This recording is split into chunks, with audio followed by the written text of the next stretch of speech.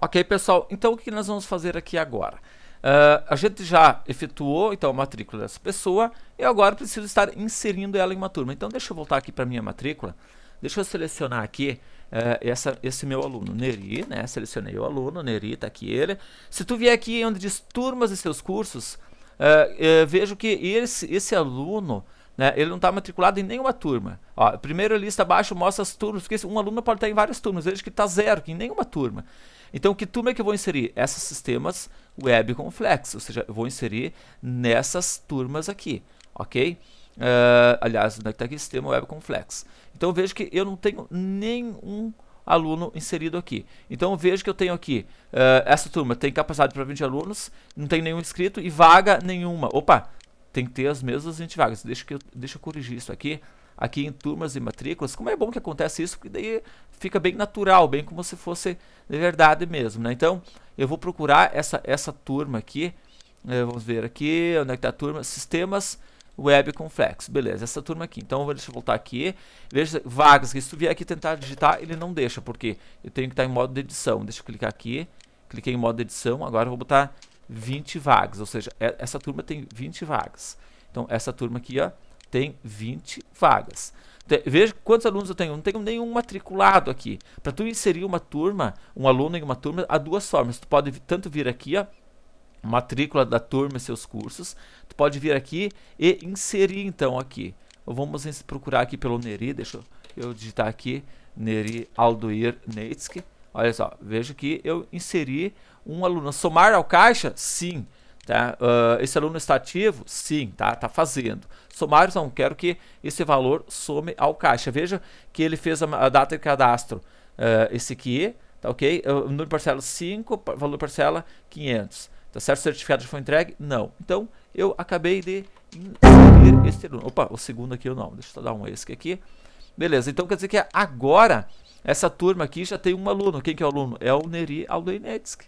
Olha só que show de bola certo? Então, essa turma agora tem um aluno. Se eu vier aqui em matrículas e, parcelas, tá? deixa eu procurar pelo Neri aqui em cima, né, que está aqui o Neri, o turmas e seus cursos. Vejo que aqui eu estou dizendo que esse Neri está matriculado para fazer de uh, sexta e sábado, às 8, tá certo? Na turma tá, tal, onde tem 20 alunos, vá, uh, data de início tal, data de fim tal. Ou seja, eu já estou inserido, que é essa turma aqui. TDC esse sábado. Beleza? Que simples que é, né? Então, outra forma de fazer isso aqui é assim, ó. Deixa eu, eu vou ir lá na turma e vou eliminar esse aluno. Eu vou eliminar esse aluno dessa turma. Eu vou pegar essa turma aqui, Sistemas Web com Flex, tá certo? Vou vir aqui em matrícula turma e seus cursos. Vou vir aqui e vou dar um Ctrl Delete. Deletar? Tá, beleza. Beleza, eu já deletei, ou seja, eu, eu deletei este aluno desta minha turma, tá ok? Deixa, eu deletei, deixa eu vir aqui em matrículas e parcelas. Onde é que eu estou aqui? Eu vou procurar pelo Neri.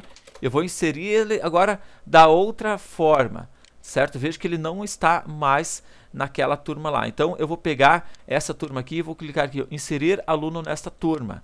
Tá? Veja que eu acabei de inserir o aluno na turma de novo. Tá certo? Veja que eu inseri. Se ele fosse fazer mais outra turma, por exemplo, essa turma aqui em cima, certo? Eu posso estar inserindo o aluno na outra turma também. Então, olha só, é inserir. Então, a forma mais simples é procurar a turma aqui e clicar em inserir. Assim, você está inserindo o aluno na turma. Então, se eu procurar aqui pela minha turma, aquela turma de antes aqui, sistemas web aqui, vejo que eu acabei de inserir este aluno nesta turma tá ok? Veja que eu estou com um pequeno bugzinho porque ele continuou, uh, agora ele deixou, está uh, dizendo que tem dois inscritos, na verdade só tem um inscrito, então um pequeno bugzinho que eu, eu, nem tinha percebido que tinha esse bug, percebi agora na hora de gravar, porque na verdade é o seguinte, na verdade tu não elimina o aluno da turma, tu só diz que essa turma não está mais ativa, né? o certo seria vir aqui e dizer, ó, não, não está mais ativa, está inativo. Porque, na verdade, pessoal, você nunca exclui um aluno de uma turma, tu só diz que ele está inativo. Porque senão tu nunca vai saber se um aluno teve na turma. Então, para fins de histórico, você jamais deve excluir um aluno. Simplesmente diz assim, esse aluno não está mais ativo nessa turma. Então, você pode vir aqui tranquilamente clicar em editar e dizer que essa turma tem 19 vagas. Veja que agora sim ele fez de forma automática. Ó. Tá certo? Agora ele corrigiu automaticamente. Então, o, o sistema realmente está correto. Certo? Eu até achei que tinha um bugzinho, mas realmente agora ele está correto aqui. Ok? Então veja pessoal como é simples. Vocês acabaram de ver duas formas de inserir um aluno em uma turma. Escolha a turma, vem aqui e adicione esse aluno, ou coloca o código, ou faça pela própria matrícula do aluno. Eu, aqui no Informaticão, a gente sempre faz uh, procurando, quando no momento que a gente faz a matrícula dele aqui, eu já venho aqui em turmas e já insiro em qual turma esse aluno está matriculado. Valeu? Obrigado, então, um abraço, até a próxima videoaula e tchau!